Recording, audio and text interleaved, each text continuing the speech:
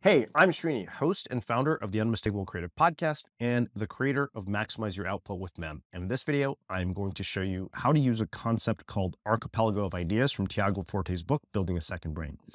One of the biggest reasons that we have trouble moving projects forward or getting started is because of how we organize information. In fact, the root cause of almost all our productivity problems as knowledge workers and creatives is how we organize information. And bad organizational habits are actually a massive bottleneck to your ability to execute ideas. Fortunately, what makes MEM so powerful is the fact that you can gather all the resources for a particular project in one place, and it reduces the amount of time it takes to access exactly what you need when you need it. Otherwise, you end up spending a ton of time managing the systems that manage your information. So what I'm going to show you in this video is how to use the concept of an archipelago of ideas to get all the resources you need to move a project forward a thousand times faster or to create a piece of content like a blog post or a report or an article. Now, let's get to the video. So one of the reasons that people often find themselves stuck either creatively or when they start a project is that they basically start with a blank page. And one of the best ways to overcome that obstacle is with something that Tiago Forte in his book calls a archipelago of ideas. And what an archipelago of ideas does is it allows you to gather all of your notes together so that you can have everything that you need to form the backbone of the essay so that you're not trying to do creative work and research for that creative work simultaneously. And one of the nice things about MEM is that MEM actually gives you suggestions that make putting this archipelago together very easy. So in this case, I actually know some of the things that I want to include. So you can see here that I have several different notes. So the first thing I'm going to do is I'm going to actually bring in notes from a couple of the books that I want to use.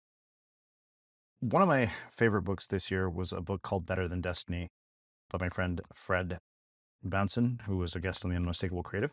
And what you can see here is when we start to put together these different notes, because I've done what Tiago Forte calls progressive summarization, I can just start to pull together a bunch of different nuggets that that will help me put together the backbone of this entire essay.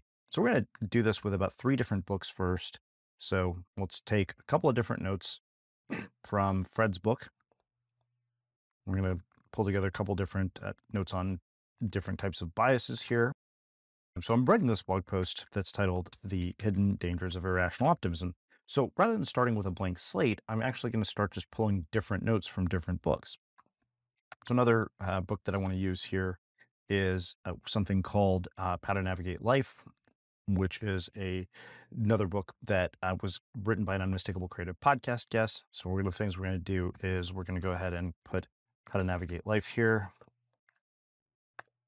And then we're going to go ahead and just start pulling some of the various things that we want to include in this essay potentially. And we start to put this together and you can start to see that one nice thing is that it actually gives you a lot to work with right from the start. So you're not starting with a complete blank page. There's one other book that I want to basically use, and then we'll go start putting together a couple of other Julia Galef wrote this really great book called The Scout Mindset, which uh, goes in detail into cognitive biases. So we're going to go ahead and pull some notes from her book as well. And uh, yeah, we're talking about irrational optimism, so we definitely want to pull in different things that kind of lead to irrational optimism here. And so all these quotes are related to all of this. Now, what we're going to do is I'm just going to go through all the similar notes that I have here and you can see basically that I have a bunch of different uh, notes. Some of them don't have anything in them.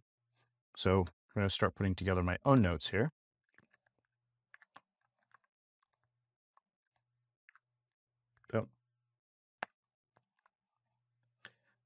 And then the other thing that you'll see here is that as we keep adding notes, MEM starts giving you more and more recommendations for these notes. And the thing that is great about that is that now you can actually start to put together a outline for this thing rather quickly. And we end up with a bunch of different notes that we can use that we can start to use as the backbone of this essay so that we're not starting this entire process from scratch.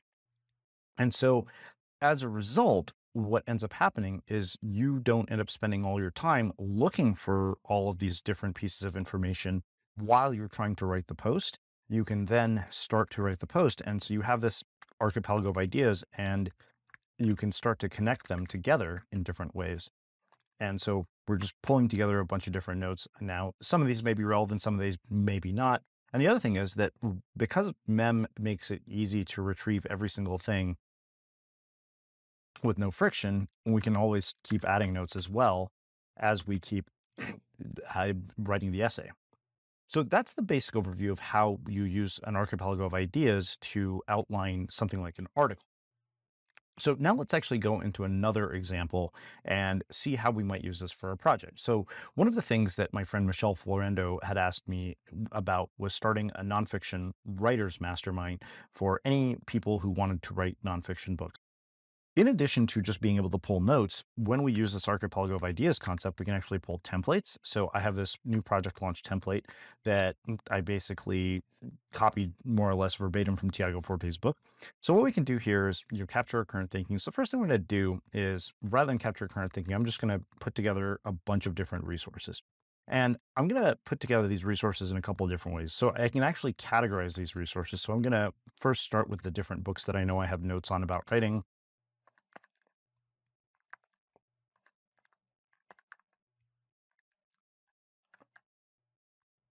And so now I've got some books.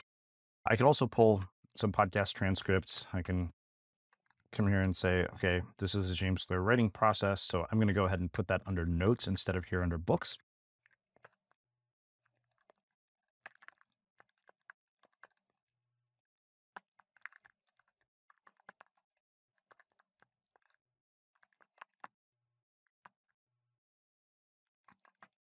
And so I have this ultimate guide to building an audience.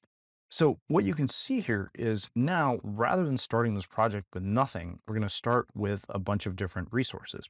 And then I have, you know, other resources that are related to helping me execute something like this project. So I have this landing page, nine ingredients that will help you print money as a resource that I often use as a checklist for when I am putting together a new sales page for a course.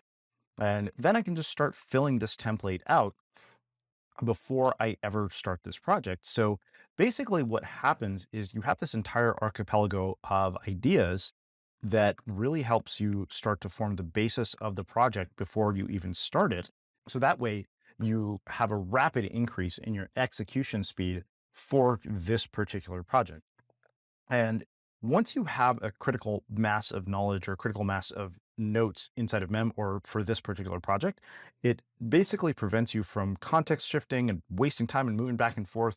Because, for example, if we go back to our blog post, you can see here, now I don't have to go to 20 different places to pull all these quotes. Even searching within Mem, I don't have to context shift. I can just start pulling each of these things together and start cutting and pasting them here on the top. And bit by bit, I can start to just reassemble these in an order that actually works as an essay. So I can just start to add different notes and I can rearrange them. And then we start to have this whole essay start to form. And that's the basic concept of how to create an archipelago of ideas in MEM. And if you haven't checked it out, I highly recommend Tiago Forte's book, Building a Second Brain. And be sure to also check out our free ultimate guide to building a second brain. And I'll include a link in the description below. As always, feel free to leave questions in the comments.